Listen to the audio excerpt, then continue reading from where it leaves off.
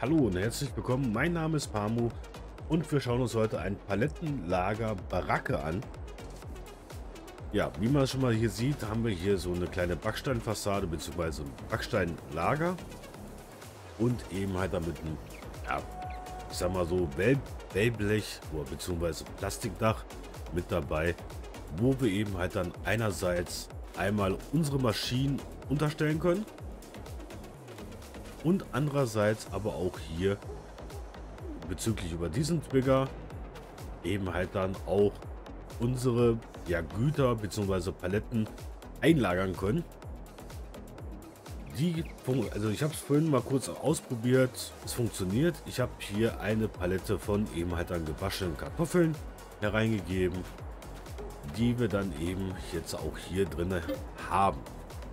So, und die lagere ich jetzt einmal aus. Eine Palette, ja, und die kommt dann eben halt dann hier auf dieser Seite wieder zum Vorschein.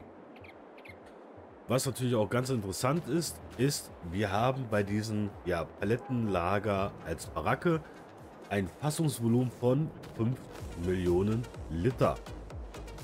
Ja, doch, ist schon ein recht, also ist schon recht, äh, ja, sportliches Fassungsvolumen.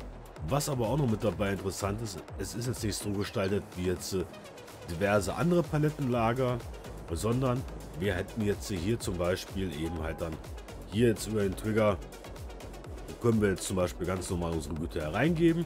Die werden natürlich unterirdisch gelagert und wir können dann hier eben halt den Rest der Baracke nutzen, um zum Beispiel jetzt auch unsere ja, Anbaugeräte oder unsere Maschinen unterzustellen was auch so ein bisschen, ja, ähm, wie soll man sagen, so ein bisschen platzsparend ist auf unseren Höfen dann. Doch, ich muss schon sagen, das ist eigentlich recht interessant und auch interessant auch gelöst an der Stelle, aber haut mal gerne in die Kommentare, was ihr davon denkt oder was ihr davon meint.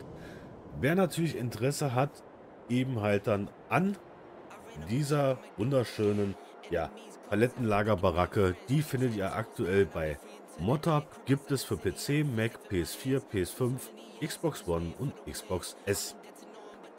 Und wenn euch diese kleine Mod-Vorstellung gefallen hat, lasst gerne einen Daumen da, lasst gerne ein Abo da und die Glocke nicht zu vergessen, um immer auf dem neuesten Stand zu sein. Ich bedanke mich auf jeden Fall fürs Zuschauen und sage Tschüss und Ciao, bis zum nächsten Mal.